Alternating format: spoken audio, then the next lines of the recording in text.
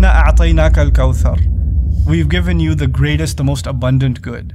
We will gain steadfastness when we remember Allah, when we are conscious of Allah subhanahu wa ta'ala, when we take account of our own selves. Allah says in the Quran, Ya ayyuhalladhina amanu taqullaha. O you who believe, be conscious of your maker. The term taqwallah, it has a broad meaning. Some people say fear Allah. That's included in there, but it has a broader meaning than that. Ibn Hajar al-Asqalani makes mention in one of his books, Fath al-Bari, which is a commentary on Sahih al-Bukhari. He says, تقوى الله أن تجعل بينك وبين عذاب الله وقاية بامتثال أوامره واجتناب نواهيه. The term taqwa Allah, taqwa means to create a barrier between you and the punishment of Allah by engaging in the commands and abstaining from the prohibitions. What a beautiful meaning of taqwa. I normally like to use the term be conscious of your maker. Because if you are conscious of Allah at all times, automatically you won't do things that are wrong. And if you happen to slip a little bit, you will immediately get up and throw that banana peel away. Allahu Akbar. Whatever caused you to slip will be gone. And Allah says, Oh you who believe, be conscious of your maker. And each one of you should look into what you have prepared for tomorrow. What have you prepared in your books? What have you prepared in your deeds? What have you prepared in your accounts to present to your maker when you are going to meet him tomorrow? What a powerful verse. Allah is telling us, look at your book. What we do today, shaitan makes us look at the books of others. Immediately, we're worried about that one, this one. You see, that one did this, and this person committed that sin, and that one is rotten in the heart, and we start passing judgment, you know, the hearts of the people. May Allah subhanahu wa ta'ala safeguard us and protect us from this.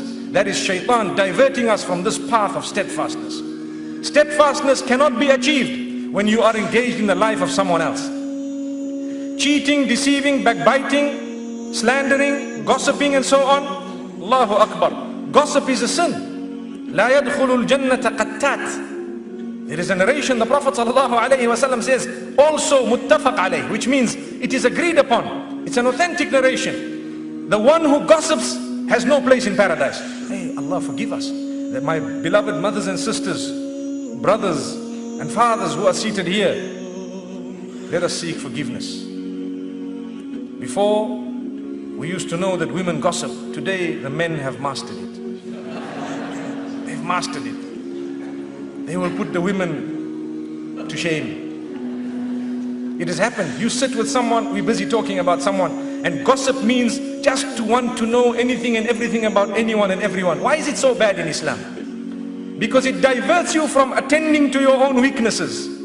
It diverts you from doing something constructive. What have you got to do with them? Carry on with your business. Don't worry about them. Allahu Akbar. May Allah subhanahu wa ta'ala protect us. Imagine if gossip is so bad. What about slander? What about backbiting? And yet, that is a norm sometimes in our lives. This is why we say, my beloved brothers and sisters. And again, I'm pressing a red button. You see someone who does not appear so religious. You cannot rule that this person is not religious because they might be more particular about these items that are hidden than sometimes those who appear to be the most religious. So remember, all of us are struggling on one path. As I am trying, I know every one of you is trying to achieve the pleasure of your maker. I know that. We all know that. No, we would not be here if we didn't want to achieve the pleasure of our maker. So good news, when you see someone attending a talk, remember we are in one boat as I said moments ago. Never pass a judgment, oh this person you see, and how they were dressed, oh someone else came dressed this way. That's got nothing to do with us. They might have a heart made of gold, whilst ours is charcoal. Allahu Akbar.